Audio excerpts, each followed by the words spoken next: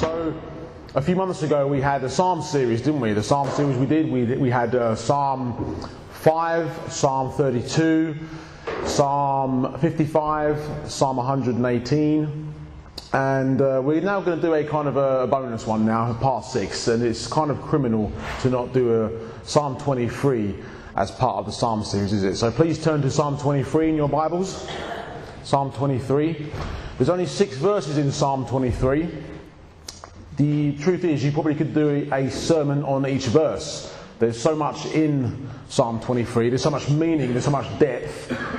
So it's uh, a blessing today to be able to expound upon the true meaning of Psalm 23. Who can remember the name of the book of Psalms in Hebrew? We did it five times a few months ago.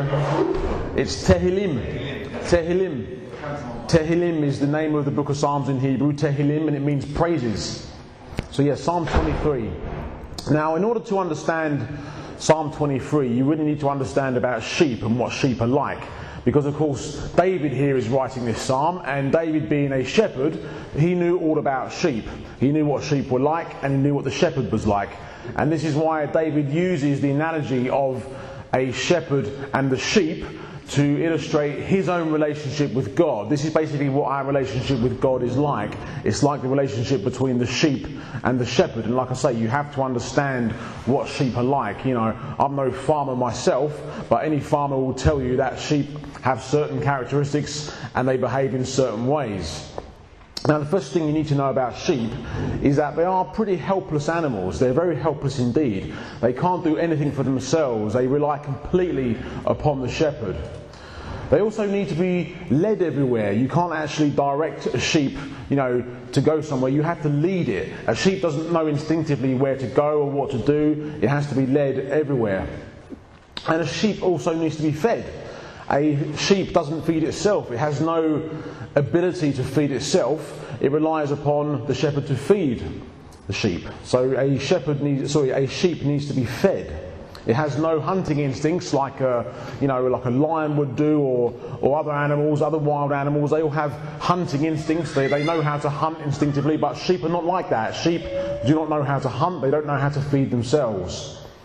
Sheep, as I said, are pretty helpless and they need to be protected all the time. They depend upon the protection of the shepherd. So if a, if a sheep is, is uh, under attack or under any kind of like, uh, you know, wild animals or anything like this, then they are pretty helpless. They completely depend upon the shepherd for their protection. They have no means of defending themselves. And something else about sheep as well is they get lost very easily. Sheep get lost very easily indeed. If a dog or a cat, for example, walks away from home, they can walk a mile or two away and they'll find their way home. A dog or a cat would always find its way home to where it gets fed. But sheep are not like that. Sheep get lost very easily. They can disappear just behind a tree or over the brow of a hill and they're lost. They're not like dogs or cats. They get lost very, very easily. And because they get lost very easily, because they have tendencies to wander, they tend to get stuck as well. They can get stuck very easily in places like, uh, like ditches or holes or thorns or things like this. So it's very easy for sheep to get stuck if they wander away too far. Now, this is why Jesus said in Matthew chapter 10, verse 6, he told the disciples, Go to the lost sheep of the house of Israel. Sheep get lost very easily. So he's saying, Go to the lost sheep of the house of Israel. And as I said, sheep also get stuck very easily as well in holes and thorns and things like this. Which is why in Luke 15, in verses 1 to 7, it says that the good shepherd, the good shepherd will leave 99 sheep to go and look for the one who is lost. And also Matthew 12, when Jesus healed the man with the withered hand on the Sabbath, and the Pharisees accused him of, of healing on the Sabbath and profaning the Sabbath, Jesus said, What man is there among you who has one sheep, and if it falls into a pit on the Sabbath, will not lay hold of it and lift it out? Of how much more value then is a man to a sheep? So he's using there the analogy of how sheep are very easily lost and very easily get stuck as well. And when a sheep gets stuck, they basically will bleat and bleat and bleat until the shepherd comes to rescue them. They won't stop bleating until the, rest, the uh, shepherd comes to rescue them. They're basically very helpless and very stupid animals. They're completely dependent upon the shepherd, just like a baby is dependent upon the parents. A baby can't do anything for itself. We know all about that now, don't we? So a baby can't do anything for itself. It has to have everything done for it. And when you understand this, when you understand what sheep are like and how, just how dependent they are upon the shepherd, this is when you can really understand your own relationship with God and actually what your own relationship with God should be like. This is what your own relationship with God should be like. The relationship between the sheep and the shepherd. It, re- it, reflects our own relationship with God. And this is something David definitely understood as a shepherd. Don't forget, this is a shepherd who's writing this psalm, and he understood all about sheep, and he understood all about how the sheep are completely dependent upon the shepherd. He understands how a good shepherd cares for the sheep. So let's do the first verse, which is probably the most important five words in this psalm, which says, The Lord is my shepherd. Psalm 23, verse 1 The Lord is my shepherd. So it's not the Lord is a shepherd or the Lord is the shepherd, it's the Lord is my shepherd. This is a personal shepherd. And the thing is, if you can't say the Lord is my shepherd, then the rest of the psalm is absolutely meaningless. In order for this psalm to mean anything whatsoever, the Lord has to be your shepherd. Because you can have many different shepherds out there, you can be led by many different people or many different things. But if it's not the Lord who is leading you, if it's not the Lord who is your shepherd, this psalm will mean nothing to you. The Lord is my shepherd. And this is why Jesus said in, in John chapter 10, in verse 24, he said, The Jews surrounded him and said to him, How long do you keep us in doubt? If you are the Christ, tell us plainly. Jesus answered them, I told you and you do not believe. The works that I do in my Father's name may bear witness of me, but you do not believe because you are not of my sheep. As I said to you, my sheep hear my voice and I know them, and they follow me, and I give them eternal life, and they shall never perish, neither shall anyone snatch them out of my hand. My Father who has given them to me is greater than all, and no one is able to snatch them out of my Father's hand. I and my Father are one. So not only are you in Jesus' hand, but you're also in the Father's hand as well, and no one can snatch you out of Jesus' hand or the Father's hand. The Lord is my shepherd, I shall not want. So again, the life of a sheep is pretty comfortable. It's just like a baby. We often say about, you know, me and Andrew have said this many times, how we seem like slaves to this baby. You know, we do everything for it. And this is what the life of a baby is like. They have everything done for them. They eat and sleep, and that's pretty much all they do. And it's no different for the sheep. The sheep have a very comfortable life. They have everything done for them, and they have all the protection, and they are led, they are fed, because they can't do it for themselves. So, again, a good shepherd provides for the sheep. Psalm 34, verse 10 says, Young lions lack and suffer hunger. Those who seek the Lord will not lack any good thing. So again, it's not because it's, it's not just the Lord who is your shepherd, but also your provider. Because the Lord is my shepherd, I shall not want. I shall not want means I shall not be in need of anything. The Lord gives me everything I need. So if you can say that the Lord is your shepherd, then you will never lack anything, according to Psalm 34, verse 10. Verse 2 He makes me to lie down in green pastures. There's quite a lot there because this all has to do with the rest. When a sheep lies down in green pastures, this is a sheep who is resting. And of course, what did Jesus say in Matthew 11, verse 28? Come to me, all you who are weary, and I'll give you rest. So a sheep gets to have rest in green pastures just as we are able to rest in the Lord. Now, when Israel came out of Egypt, we've been studying the book of Joshua in our uh, Bible study on Thursday nights. When Israel came out of Egypt, they came through the Red Sea into the, into the wilderness before they entered the promised land, but because of their disobedience and because of their lack of faith, they were unable to enter the promised land. And it says in Hebrews 4, in verse 11, that God says, I swore in my wrath they would not enter my rest. So they were unable to enter the promised land, and according to Hebrews 3:19, it was because of their unbelief. All of their sin, all of their complaining, all of their disobedience, it was all because ultimately of their unbelief even after everything they saw God do, all the miracles they saw Him do. They still did not enter the promised land. They could not enter His rest because of unbelief. So it's like a sheep who is not able to lie down and rest. And of course, Hebrews 4 goes on to say that we must strive to enter that Sabbath rest, which is Jesus. Jesus is our Sabbath rest, isn't he? He's our rest. And notice it says as well, not just to lie down, but to lie down in green pastures. In green pastures. Now, the thing is, a shepherd will be in a field, and of course, they'll be eating away at the grass. But as I said, once a shepherd has run out of grass, once there's no more grass to eat, and the next field has plenty of grass, the shepherd, the sheep doesn't even know to move to the next field. It has to be led. When the sheep runs out of grass which is around him, the sheep doesn't think, oh, I'll go to the next field, there'll be grass there. No, it has to be led. The sheep has to be led everywhere. He leads me by the still waters. He leads me beside the still waters. So again, a sheep needs to be led. He leads me by the still waters. And of course, I don't think to go and look for water to drink. A sheep will get thirsty, but it won't think to go and look for water to drink. It has to be led.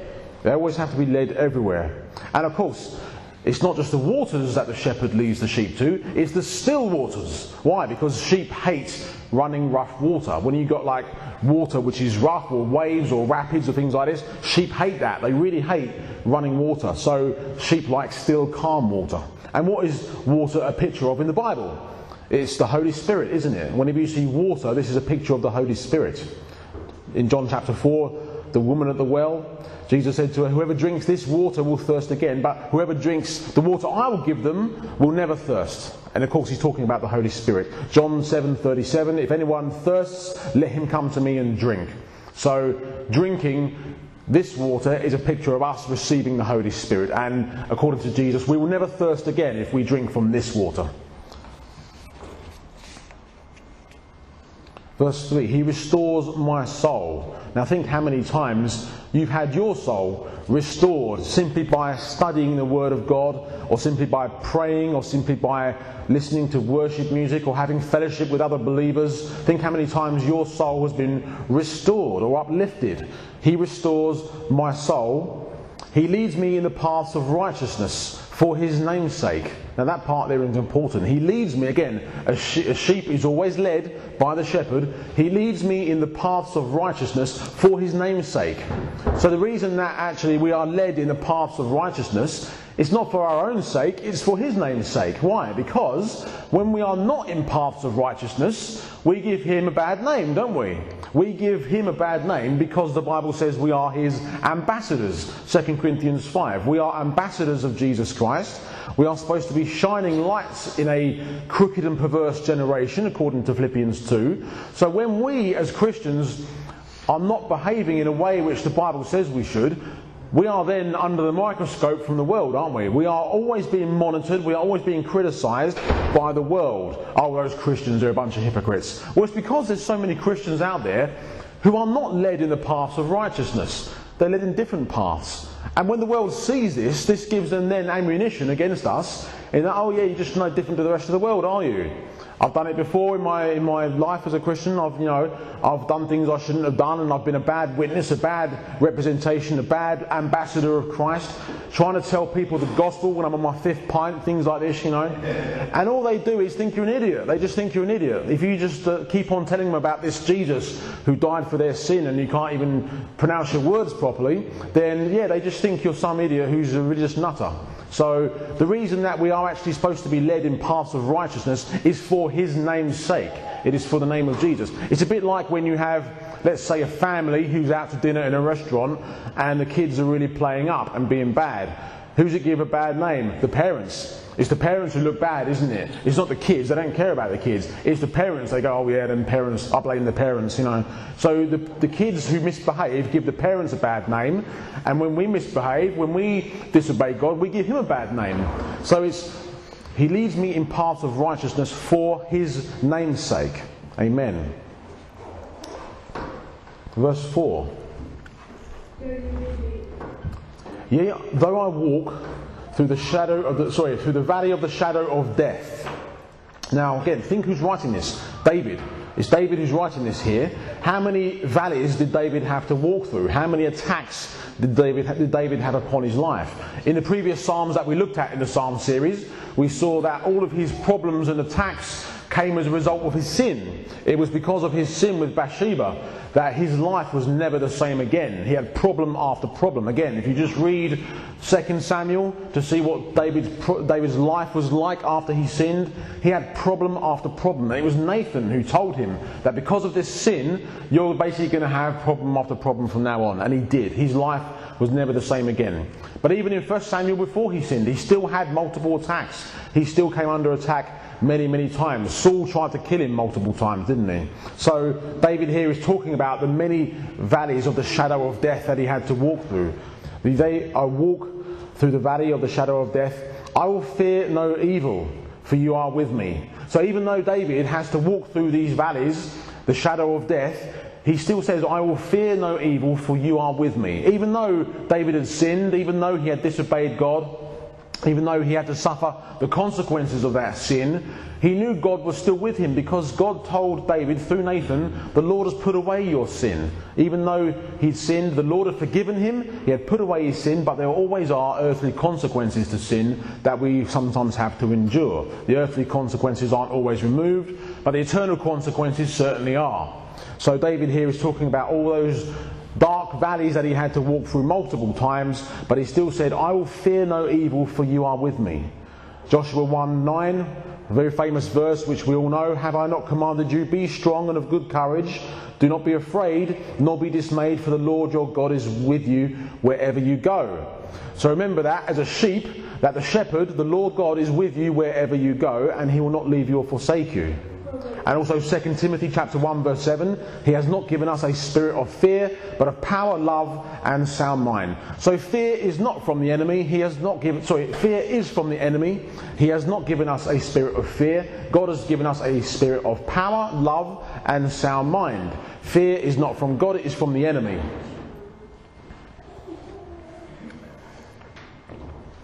Now this is a bit uh, a part of this psalm I particularly like, which says, Your rod and your staff, they comfort me. Your rod and your staff, they comfort me. Now, obviously, people know what this says, but without knowing what shepherds are like and what, without knowing what shepherds do, it's not very meaningful. So it actually is beneficial to know what these, this rod and staff is. A shepherd would always have a rod and a staff. Now, the rod, what is the rod for?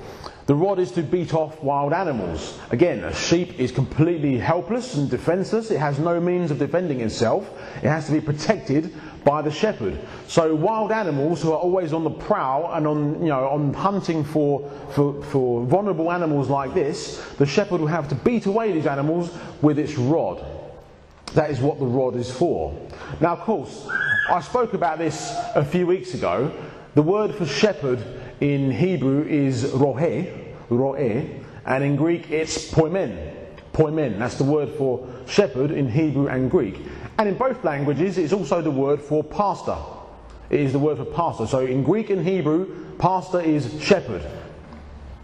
What does a shepherd do? A shepherd protects the wild, uh, sorry, the sheep from wild animals. That is one of the, sh- the shepherd's main duties to protect the sheep from wild animals. And what is a pastor's job is to protect the sheep from wild animals. Wolves. Matthew 7, verse 15 Beware of false prophets who come to you in sheep's clothing, but inwardly they are ravenous wolves. So, whenever you see things like wolves in the Bible, it's representing false teachers and false prophets. And unfortunately, there are many, many around, aren't there? And this is why not just the pastors or the shepherds, but also the more experienced people amongst us, some of our elders, some of our leaders. It should be our responsibility to be pointing out these wolves to the new young believers. If you're a young believer here, if you're newly saved, then you aren't going to be told by your church leaders that there are certain false prophets and false teachers that you should avoid. And we don't do that to be unloving or divisive. We don't do that to be critical like some of the lukewarm Christians will accuse us of. Oh, you're so critical. Oh, you're unloving. Oh, that's so unhelpful. No, it's exactly what the Bible commands us to do. Look at what Paul said. Again, I've read these verses to you before, but Paul said, in 2 Timothy chapter 2, a experienced believer here, writing to an immature believer, don't forget, he warns them about Hymenaeus and Philetus. Hymenaeus and Philetus, 2 Timothy chapter 2 verse 16. He says, Hymenaeus and Philetus, their message will spread like gangrene or like cancer. So he's warning Timothy about these two heretics. And then in 2 Timothy 4, in verse 14, Alexander the coppersmith did me much harm. May the Lord repay him according to his works. You also must be aware of him. So he's warning Timothy here about this guy called Alexander the coppersmith. Paul here is doing the duty of a shepherd, protecting Timothy, a young believer, from a dangerous person, from a heretic. We see John do the same thing in John's third epistle. In 3 John, Diotrephes is talking wicked nonsense He's basically pointing out, again, he's writing to Gaius. Third John is written to a guy called Gaius, and he's saying to him, Diotrephes is talking wicked nonsense. You must be careful, you must, you must avoid him. He's pointing out a false teacher to a young believer. And again, he's not doing this to be unloving or critical. He's doing it because it's the job of a good shepherd to point out these heretics to younger believers. And look what Paul said in Acts chapter 20. When he's saying goodbye to the Ephesians in Acts chapter 20, verse 28, he says, Therefore, take heed to yourselves and to all the flock, among which the Holy Spirit has made you overseers. So he's talking to the leaders here of the Ephesian church. The Holy Spirit has made you overseers. So if you're an overseer or an elder or a leader here at this church, this is the sort of thing you should be paying attention to. The Holy Spirit has made you overseers to shepherd the church of God, which he purchased with his own blood. For I know this, that after my departure, savage wolves will come in among you, not sparing the flock. Have we seen that here at CFM? Absolutely, we have. We've seen not the Lord, but the devil sending savage wolves, not sparing the flock. So, just as a good shepherd will protect the sheep from wild animals, a good pastor or a good leader will protect young believers from these heretics, from these wolves. This is what the Bible tells us to do. Now, again, there was no problem denouncing these shepherds in the Old Testament as well. For example, in Ezekiel 34 and Jeremiah 23, we see God denouncing these shepherds. We see him pronouncing woe upon woe upon the shepherds of Israel. And again, the word in Jeremiah 23, verse 1, in, in Hebrew also means pastor and is actually translated pastor in some translations. So again, naming and shaming false teachers Naming and shaming heretics is completely biblical. Don't think someone's being unloving because they're doing that, it's because they're doing their job. In fact, anyone who doesn't do that, Jesus called them a hireling, a hireling. That's a term again in John 10, the sheep chapter, John 10, verse 11. I am the good shepherd. He says that I am the good shepherd because he knows that in Ezekiel 34 and Jeremiah 23, he's talking about bad shepherds. It's talking about those who are not there to feed the flock, but to fleece the flock. This is what these shepherds do. And this is what the shepherds did in the time of Israel. They were there to fleece the flock. In other words, they were there to profit from them, not to feed them. And unfortunately, that's the case today, isn't it? Today, there are many people out there who are not there to feed the sheep. They are there to fleece the sheep. They are there to make a living from it. And this is why Jesus called them hirelings. I am the good shepherd. The good shepherd gives his life for the sheep. Again, that's talking about Israel, as we've already mentioned. But a hireling, he who is not the shepherd, in other words, one who's paid to do this work, one who does not own the sheep, sees the wolf coming, leaves the sheep and flees. And the wolf catches the sheep and scatters them. The hireling flees because he's a hireling and does not care about the sheep. Again, Jesus there is talking about those bad shepherds from Ezekiel 34 and Jeremiah 23. And he's saying, I am the good shepherd. Those shepherds are there to fleece the flock. Those shepherds are not there because they care about the sheep. I am the good shepherd. I care about the sheep. I gave my life for the sheep. This is what Jesus is saying here in John 10. So, any pastor or any leader who refuses to protect the sheep, he's simply a hireling. One who flees as soon as he sees the wolf coming. Basically, a coward. And in 1 Peter chapter 5, verse 1, it says this The elders who are among you, I exhort, I am a fellow elder and a witness of the sufferings of Christ, and also a partaker of the glory that will be revealed. Shepherd the flock of God, similar to what Paul was talking here to the Ephesians. Shepherd the flock of God which is among you, serving as overseers, not by compulsion, but willingly. You hear that, leaders? Not by compulsion, but willingly. Not for dishonest gain, but eagerly. I hope no one's saving up for any Bentleys or Ferraris in this church. Nor as being lords over those entrusted to you, but being examples to the flock. Again, leaders and elders should be setting example to the flock. And when the chief shepherd appears, chief shepherd there is capital C, capital S. When the chief shepherd appears, you will receive the crown of glory that does not fade away. Hallelujah. So what Jesus, what this is saying is, is that obviously leaders and pastors are all shepherds, but then there is the shepherd. There is a shepherd, but then there is the shepherd, capital S. Hallelujah. There's many shepherds, but there's the shepherd. So that's what the rod is for. Again, your rod and your staff, they comfort me. The rod is there to protect the sheep, to beat off wild animals. That is what a good shepherd will do. Now there's also the staff, the rod and the staff. The staff is kind of that, that hook. You know, you've all seen that, that pole which has a big hook on it, a, shepherd's staff. That has to do with, with correction and discipline. Because if a shepherd wants a sheep to go in a certain direction, it will nudge it with the staff like this. It will give it a nudge. If the shepherd wants the sheep to go this way, it will nudge it. And if it starts to go a little bit astray, it will nudge it back in place. That's what the staff is for. So, for example, in Isaiah 30, verse 21, it says this Your ears shall hear a word behind you saying, This is the way, walk in it, whenever you turn to the right hand or whenever you turn to the left. In other words, when you start to go a little bit astray, the Lord will give you a gentle nudge just to bring you back on the right path. That's what the staff is for. And that's what the shepherd would do whenever the sheep would start again. Sheep wander, they get lost, they have to be led everywhere. So whenever the sheep was starting to go off from where the uh, shepherd wanted them to go, he would give him a gentle nudge to bring him back in line. Now, of course, sometimes the sheep would really go astray. And sometimes the sheep would really want to start going somewhere it shouldn't. And that's what that hook is for. Again, that shepherd's staff, the hook, that hook fits perfectly around the sheep's neck. So what the shepherd would do is, the shepherd would wrap that hook around the sheep's neck and just whip it back in line. That's what you often see a shepherd do with that hook. It goes perfectly around the sheep's neck and then back in line it goes. And again, this has to do with correction. This has to do with discipline. This is what the shepherd is doing. He's disciplining the sheep. Now, of course, Matthew 7, verse 13 says that the way to life is narrow. It's not just the gate, but it's also the way which is narrow, which is why you and I are on this way, and it is possible to stray from that way. But what does God do when we do that? He nudges us back in line. He'll bring us back in line. He'll give us that gentle nudge just to put us back in line.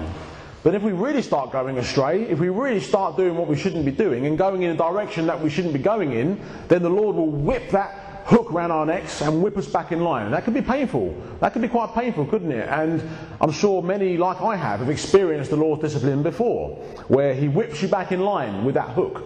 That's what that hook is for. So the staff has to do with discipline and correction. And the Lord is always disciplining us and correcting us. Always. In fact, it's quite a comfort to know that He is, because the shepherd will discipline his own sheep. He won't discipline other sheep. Again, Jesus said, My sheep know my voice. I give my life for the sheep. That's Israel, of course. My sheep know my voice. So in Hebrews 12, it says this from verse 5 And have you forgotten the exhortation that addresses you as sons? That's quoting Proverbs 3 right there. My son, do not regard lightly the discipline of the Lord, nor be weary when reproved by him. For the Lord disciplines the one he loves and chastises every son who he receives. It is for discipline that you have to endure. God is treating you as a son. For what son is there whom his father did not discipline? If you are left without discipline, in which all have participated, then you are illegitimate children and not sons. In the King James, it says a bastard child. That's what it says in the King James, the good old King James language bastard child, illegitimate child. Besides this, we had earthly fathers who disciplined us, and we respected them. Shall we not much more be subject to the Father of spirits and live? For they disciplined us for a short time as it seemed best to them. But he disciplines us for our good, that we may share in his holiness. For the moment, all discipline seems painful rather than pleasant, but later it yields the peaceful fruit of righteousness to those who have been trained by it. So basically, here about you know, for the moment, all discipline seems painful. I'm sure it's quite painful for that sheep to have that hook wrapped around its neck and whipped back in line. Probably quite painful. But why is a shepherd doing that? Not because he feels like doing it, it's because he doesn't want the sheep to go somewhere he shouldn't. And that's exactly why the shepherd does this, because the shepherd owns the sheep. The shepherd cares about the sheep. Why does a father discipline his son? Because he cares about his son. He doesn't want his son doing things he shouldn't, and therefore he disciplines him. But a father will only discipline his own. He won't discipline someone else's child, will he? If you used to see me, you know, giving someone else's kid a smack, then those parents will say to me, What do you think you're doing? You don't get to smack my child, I'll do that, thank you very much. That's what parents do. They smack their own children, not other people's children. And a good father will do this. And my father certainly disciplined me when I was a kid.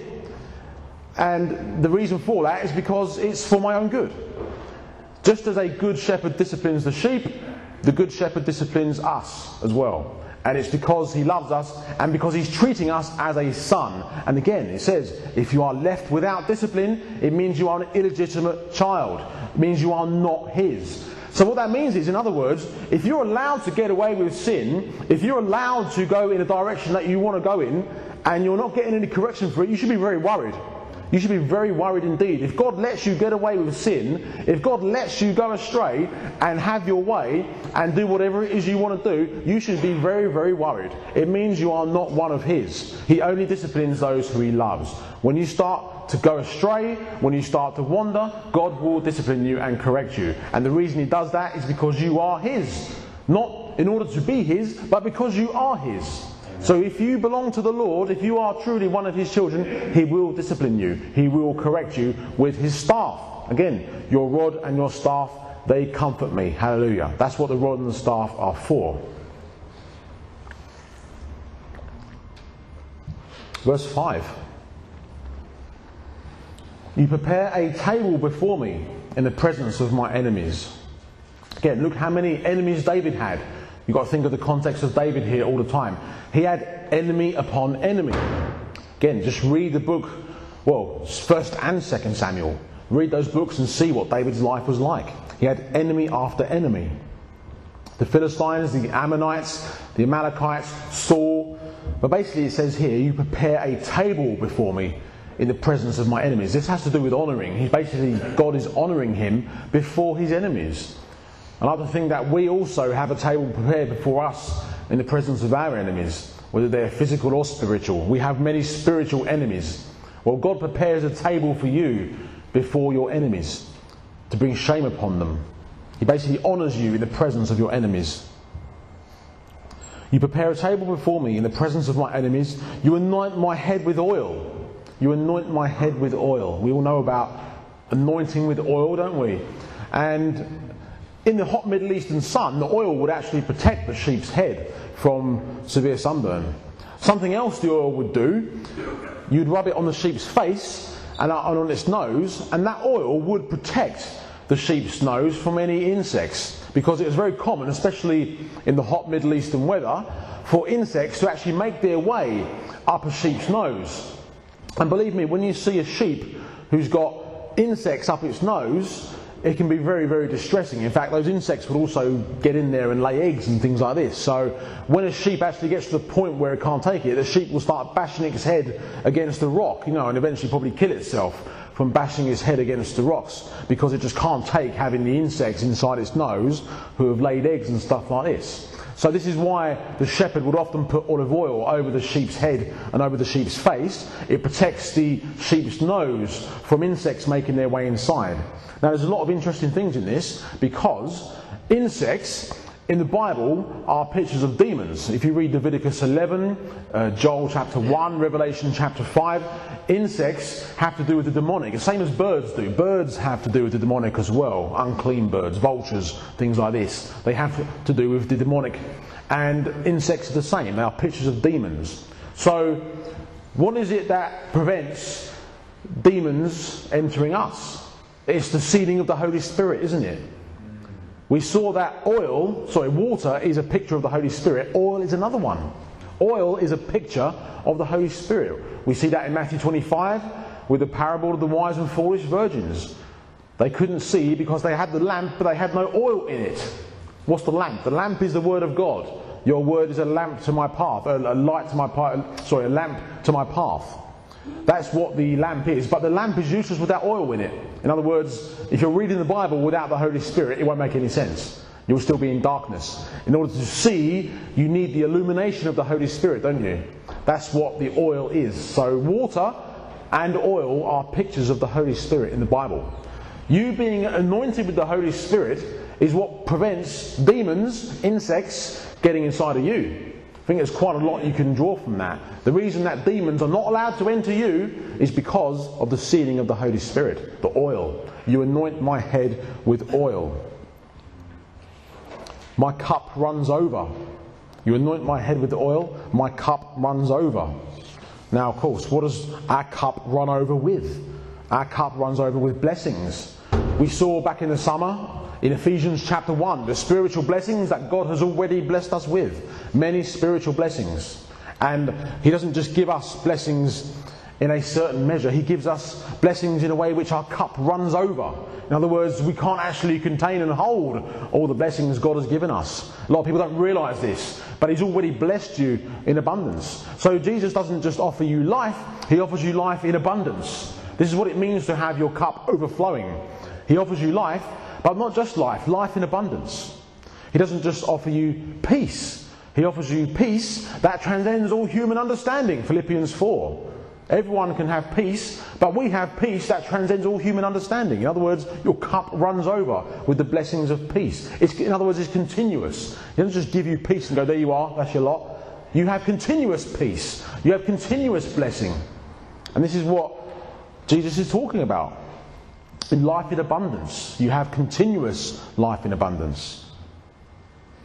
Verse 6 Surely goodness and mercy shall follow me all the days of my life Hallelujah. The word there for follow is radaf.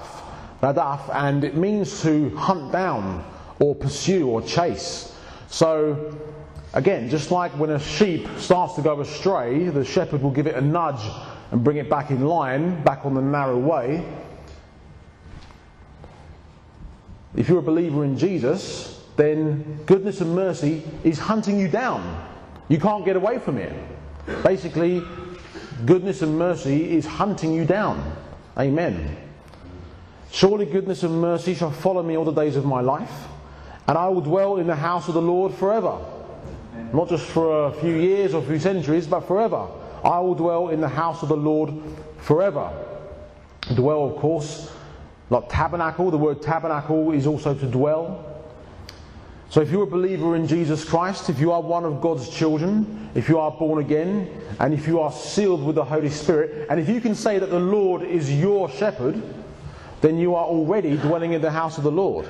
You already dwell in the presence of the Lord. That, of course, has a future meaning when we will dwell in heavenly presence, eternity. But we will dwell in the house of the Lord forever. But we already are. We already are dwelling in the house of the Lord. Colossians 3:3 says, For you died, and your life is now hidden with Christ in God.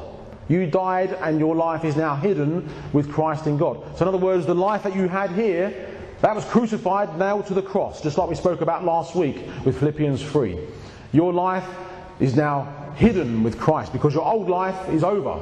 Your old life is over. You've been nailed to the cross. You were crucified with Christ. And now you have a new life which is hidden. So, in other words, it's not about this life, it's about the life to come.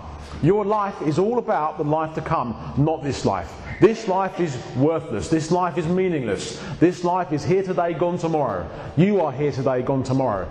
But your life to come, the life which is hidden with Christ in God, means that you are going to dwell in the house of the Lord forever forever. Hallelujah. Philippians 3:20. We saw this last week. For our citizenship is in heaven, from which we also eagerly wait for the Saviour, the Lord Jesus Christ. Our citizenship is in heaven. So we already have heavenly citizenship. We are no longer citizens of this world. We no longer belong to this world because we have been bought by the blood of Jesus Christ, which now makes us citizens of heaven.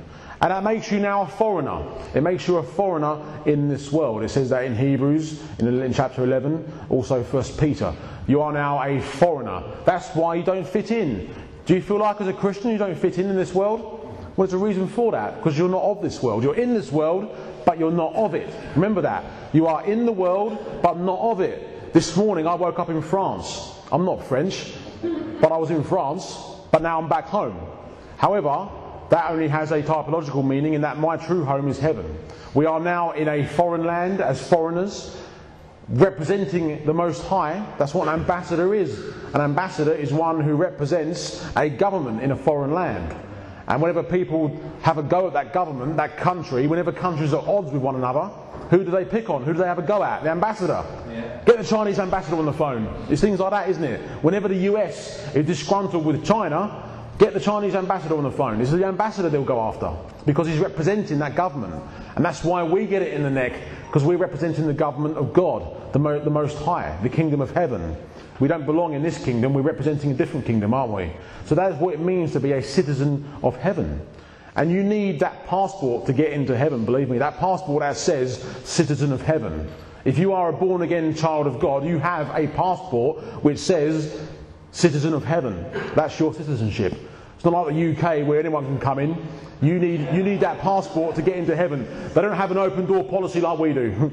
you need that passport to get into heaven. Without that citizenship, you are not allowed in. Anyone can come in over here, but in heaven, it's only citizens who are allowed in. And if you are born again, if you know Jesus Christ, you are a citizen of heaven. Hallelujah. Praise the Lord. And you shall dwell in the house of the Lord forever. Praise the Lord. Amen. Amen. Let's pray and give thanks. Dear Heavenly Father, we thank you so much for this day. We thank you, Lord, for this teaching and for this psalm. And Lord, it's just such a short psalm with so much in it, Lord. We thank you that there's just uh, so much goodness packed in there, Lord, and that we just get the privilege to, to unpack it and to analyse exactly what you want us to, to know about this psalm, Lord. And we do give you praise and thanks for your word. We thank you, Lord, that your word is, is true and that your word is enduring forever. And we thank you, Lord, that you've given us the spirit of truth to live in us, to lead us into all truth, just like a shepherd leads the sheep. We thank you that you lead us in the paths of righteousness and you lead us into all truth by your Holy Spirit. And we thank you, Lord, that just as the sheep are so dependent upon the shepherd, we thank you that we too are dependent upon you. Help us, Lord, to always be dependent upon you because, Lord, we don't want to be like those who just want control over their own lives. We don't want to be like those who just want to do it all themselves. We want to hand over that control to you, Lord, because you know better than us.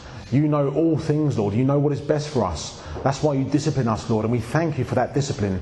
We thank you for that correction whenever we go wrong, whenever we go astray. We thank you that because you love us, because we are your children, you nudge us with your staff and you correct us, Lord. And we thank you for that correction, Lord. We thank you that you treat us as one of your own. And Lord, we pray that you'll continue to help us to walk on the narrow way. We pray that you'll help us to be shining lights as citizens of heaven, ambassadors of Jesus Christ. Help us to keep on pleasing you. Help us to keep on looking to you. As a sheep looks to the shepherd, help us to keep on looking to you to be completely dependent upon you, Lord. And Lord, we do thank you so much for this day, and we thank you, Lord, for bringing us together. That as one flock, we have a chief shepherd.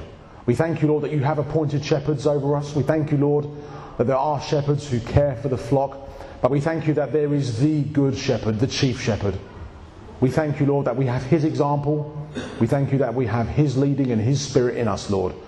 The chief shepherd, the good shepherd. We thank you, Lord, that you love us and protect us. And we thank you, Lord, that that is what you've done for us by dying for, on the cross for our sin and rising from the dead on the third day. And for that, Lord, we give you all praise and thanks. We give you all the glory. The chief shepherd, the good shepherd, the name of Jesus Christ of Nazareth, in whose name we pray. Amen. Amen. Amen. Hallelujah. Praise God. I'm going to dwell in the house of the Lord forever. Amen.